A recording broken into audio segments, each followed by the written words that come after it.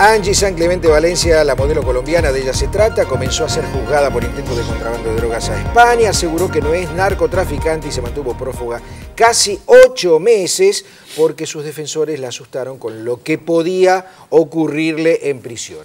Vemos los detalles del caso. Angie San Clemente Valencia se la acusa de intentar sacar 55 kilos de cocaína desde Seiza con destino a España. Junto a ella se procesó a otras seis personas, entre ellas a su novio, el modelo Nicolás Hualco. Lo mismo que dijo siempre, ella vino a la Argentina a casarse con Nicolás Hualco, de repente Nicolás Hualco quedó detenido y a ella se la vinculó, digamos, con este hecho por producto de la relación con Hualco.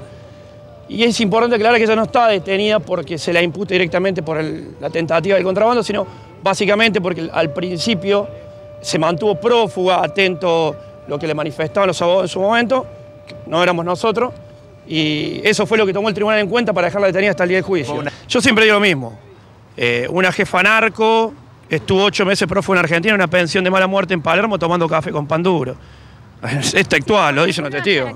Es muy difícil para una persona eh, como San Clemente Valencia, que vive un mundo distinto al, que, al normal, es una persona que era actriz en México, de repente encontrarse que va a quedar detenida y en ese momento lo que ella manifiesta que le, que le decían sus abogados era que podía ser violada, atacada, golpeada, circunstancias que le provocaban el miedo a entregarse.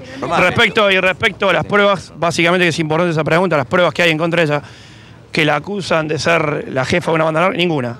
A mi criterio como defensa, ninguna, y eso es lo que vamos a probar en estos 30 días.